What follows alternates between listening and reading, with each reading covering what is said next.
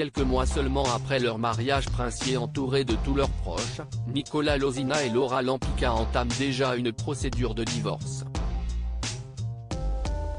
La nouvelle a été annoncée dès les premiers jours de l'année 2023, à la surprise de tous. Pas question toutefois de se faire la guerre.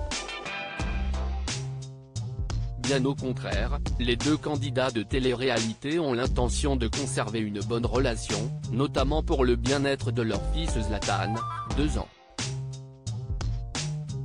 Nicolas Lozina a tout de même pris un peu de distance, le temps de digérer ces derniers événements, et si est en Belgique qu'il se ressource actuellement, auprès des siens. Laura Lampica est de son côté restée à Dubaï avec leur fils, ville où elle s'était installée il y a quelques années avec son ex. Avant de se séparer, ils avaient même eu le projet d'acheter une maison pour s'y épanouir en famille. Un projet qui ne tombe pas totalement à l'eau comme l'a fait savoir la belle brune mardi 10 janvier. On veut rester sur Dubaï tous les deux en effet, l'ex-candidate de Secret Story a toujours le désir d'investir dans l'immobilier, de la même manière que Nicolas Lovina. Je ne sais pas si vous vous en rappelez, mais je vous avais parlé de notre achat immobilier avec Nico. Bon, vu que l'on s'est séparé, il n'y aura plus d'achat immobilier en commun.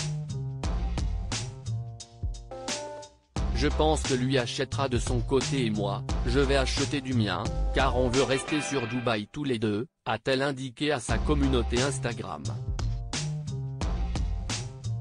Les futurs ex-épouses sont d'ailleurs souvent en contact pour évoquer le sujet.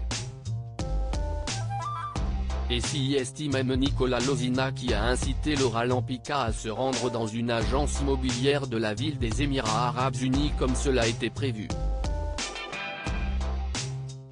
Quand même maintenu un rendez-vous con avec. Nico m'a dit d'y aller comme ça je check un peu les appartements que je peux trouver ici en vente ou en investissement, a-t-elle expliqué. Chacun va donc de l'avant tout en restant à l'écoute et présent l'un pour l'autre comme il l'avait promis au moment d'annoncer leur rupture.